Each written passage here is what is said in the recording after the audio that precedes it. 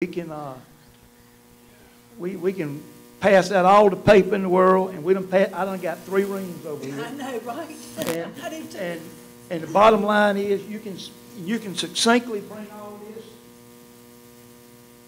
to, uh, one little sheet of paper that Dr. Schuler produced, but it- it's, it's fairly simple. We're asking for five point two million dollars over last year's budget. Two point five million of that is the longevity bonus for all employees. Certified, whether you're a custodian, been working in Franklin County twenty years or two years. Bus driver, often the people who are forgotten. The folks we've seen in Durham County not showing up, parking the buses and that type of thing.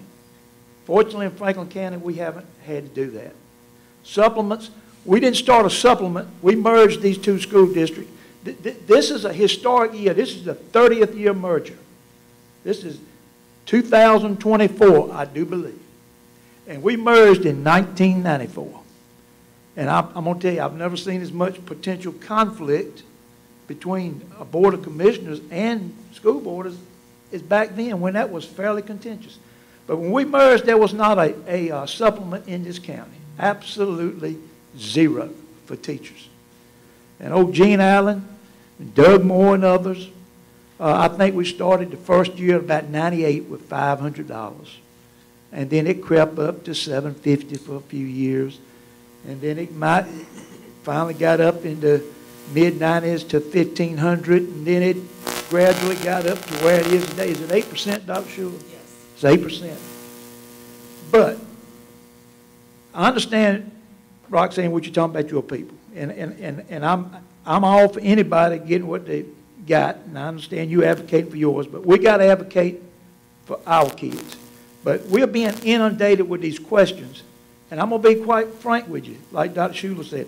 A lot of these questions, when I look at them, I made notes on them, but I'm gonna go from the old head here, is, that is, you've got enough detail, there's been enough time spent on paper. It, we, we're an elected Board of Education, every one of us over here, just like you an elected Board of Commissioners. I had to go out and stick out my signs and raise my little thousand dollars and run to Gary Kennard and get me some cards. And, and you know, we, we are, we are elected to operate the schools. But to ask us for receipts, contracts, invoices, Dr. Schuler used the word overreach. It's way overreach. If, if the county commissioners want to operate and, and, you know, take our places, maybe start working with your legislature and let them replace, and y'all take that on too. I mean, we, we are trying our best. All we're doing is advocating for children. And, and I'm going to tell you, this is my 35th budget. I worked 38 years with the school district and retired. But the last 22 was with Franklin County Schools, either as an assistant superintendent or executive director. And I've been to many presentations. We talk about debt service. The reason the debt service and, and, and the reason we, get, we had GO obligation bonds, 04, 30-some million, and 08, 51 million. And I can look in my reams of paper and show you, you it- it's, a, it's a deal of trust. It's like it's mistrust here. I can tell you, the County Board of Education has never, ever tried to hide things from the Board of, from the Board of Commissioners. We've always been up front with them. We've provided everything they ever asked for. But this year is the first year we have got into the weeds, as they say, the minutia, and dig down, and, and people asking for invoices and contracts. The, the bottom line is the reason we need five million is on this one little sheet. We can stay all night and go through every one of these questions. This gentleman present his, and then Queen will do a response, and then some of us, like me and Ms. Bragg, interject.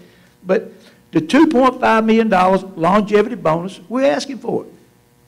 And, and, and we advocate for our, our staff, everybody.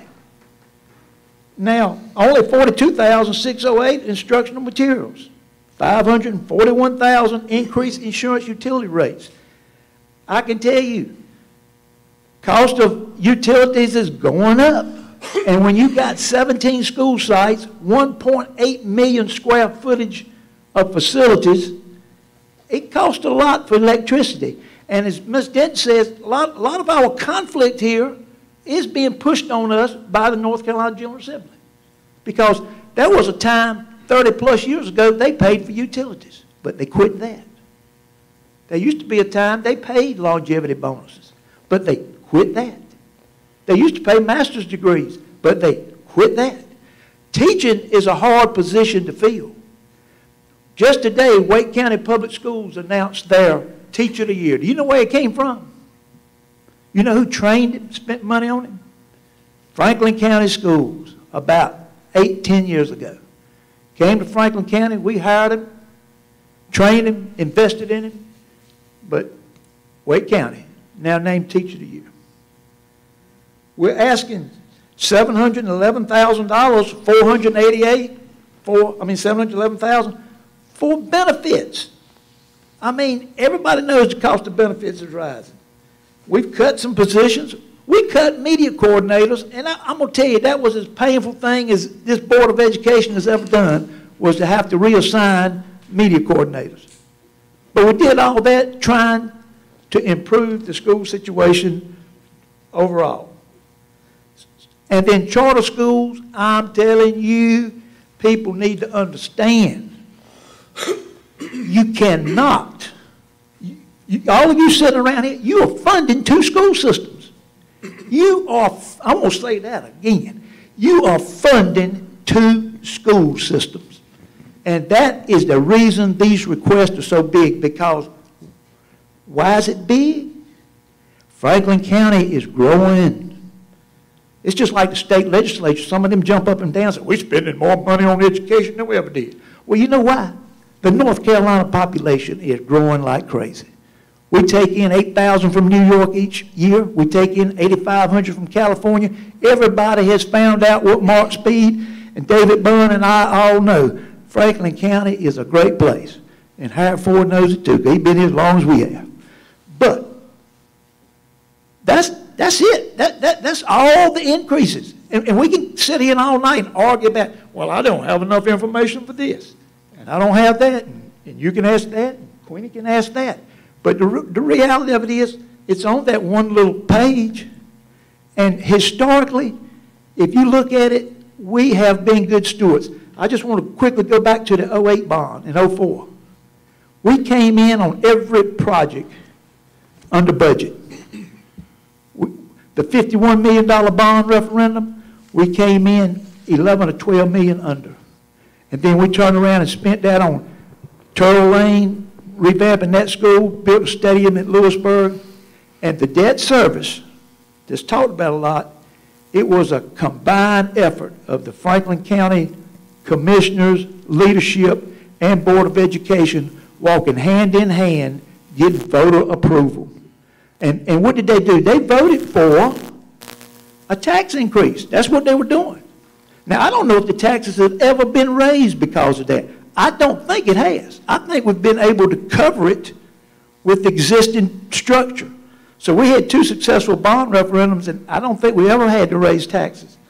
But I'm going to close by saying all we're doing is trying to maintain our existence in a struggling environment and to provide the very best opportunity for our kids. And, and again, in my, this is my 35th budget. I've never seen so much information presented, so much information sent back, so much sent forth. And now here we are. I feel like I'm on CNN and Fox watching something that I don't even want to talk about because people, we, we can do better than this. And, and there's enough information. I, I, I, will, I will debate with anybody in this room on the county side from now until midnight, and if we want to take a break, we'll start back tomorrow. That you don't have enough information. It, enough information is not the problem. The problem is how to fund it. And you're saying you got to have a tax increase. I hope you don't.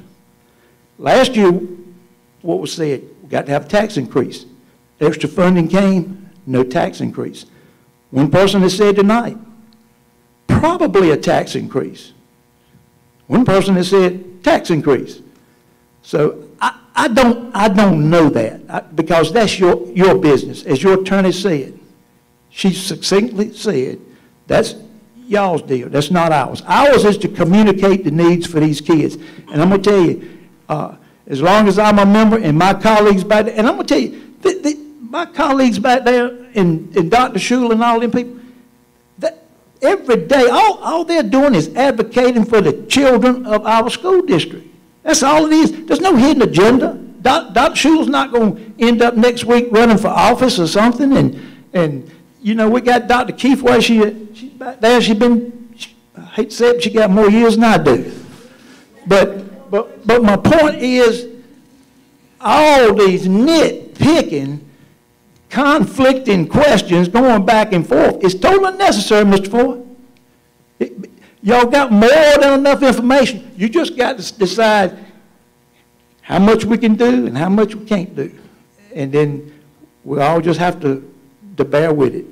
And thank you for your time, and I promise I'll try to stay seated, but knowing me, if something strikes me, I, I might be back.